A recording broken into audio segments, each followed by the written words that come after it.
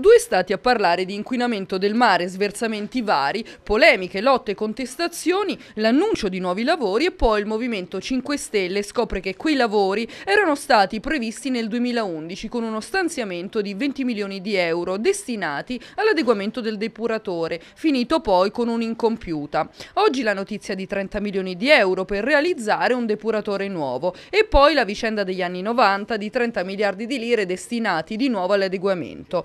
Questi i dati che compaiono nel report confezionato da Domenico Pettinari. Quelle opere iniziarono ma si fermarono, come ci ricorda l'anagrafe unica delle opere incompiute della Regione Abruzzo, all'8,2% della realizzazione, poi eterna incompiuta.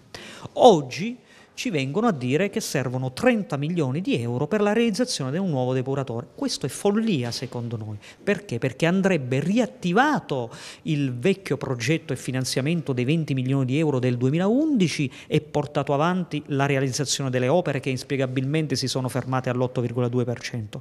E con i 30 milioni che oggi vogliono utilizzare per il depuratore di Pescara andrebbe fatta la cosa più importante, cioè la separazione delle acque bianche delle acque nere ottenere per immettere quello che va immesso nel depuratore, perché possiamo avere anche il depuratore più grande e più bello del mondo, ma se ci buttiamo dentro tutto, il depuratore non funzionerà mai bene.